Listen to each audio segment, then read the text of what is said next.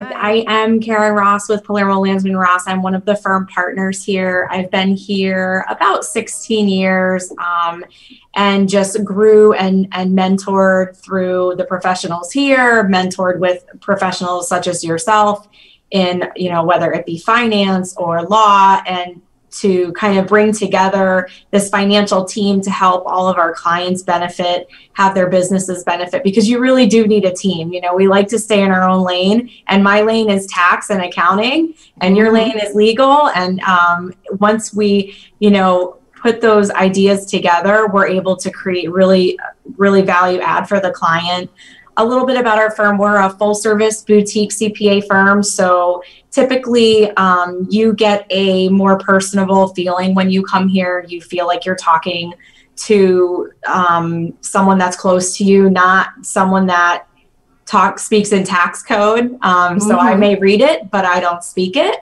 I want my clients to understand what the law is. I want them to understand and not feel intimidated by it. So we try to provide that type of experience, and there's no one size fits all. So we do provide full service accounting services to all different types of business owners, and uh, whether it be for profit or non for profit, and navigating each of their individual needs. So that's a little bit about uh, myself and my history with this firm.